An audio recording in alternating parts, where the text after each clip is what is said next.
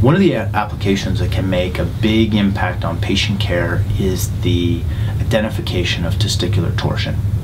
You can save that testy a lot of time to OR by rapidly diagnosing it as soon as the patient hits your triage bay. But there's a little wrinkle when we look at testicular flow in pediatrics. Pediatric patients often have very, very low flow states. And sometimes, even using power Doppler, it can still be difficult to see flow.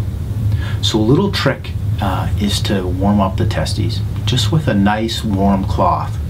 And if you do that, it often increases the flow enough so that you can do a nice comparison of the unaffected testy to the affected testy.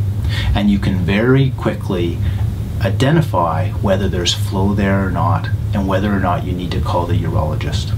So, in pediatric patients, testes can often have very, very low flow states. And a way to kind of enhance your color assessment is by using a warm cloth.